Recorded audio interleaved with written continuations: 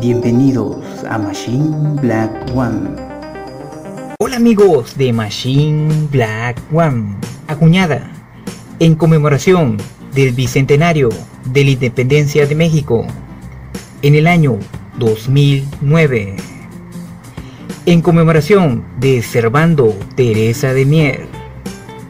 Una moneda un poco compleja de poder ser encontrada. A pesar que su tiraje de acuñación fue de 6.942.096 monedas. Y a pesar de este número de acuñación bastante abundante, son muy complejas de poder encontrar.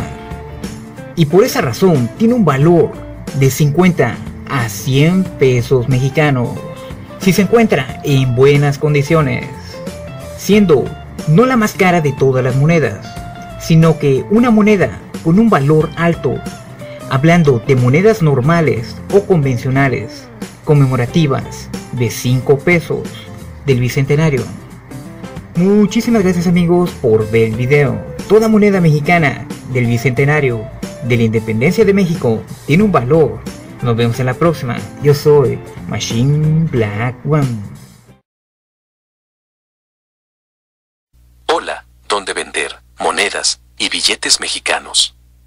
Existen tres aplicaciones conocidas como Letgo, 5 Mails y OfferUp que se pueden descargar gratis de la Play Store. Esas aplicaciones sirven para intentar vender monedas y billetes mexicanos. Que tengas muchísima suerte. Yo soy Machine Black One y nos vemos en la próxima.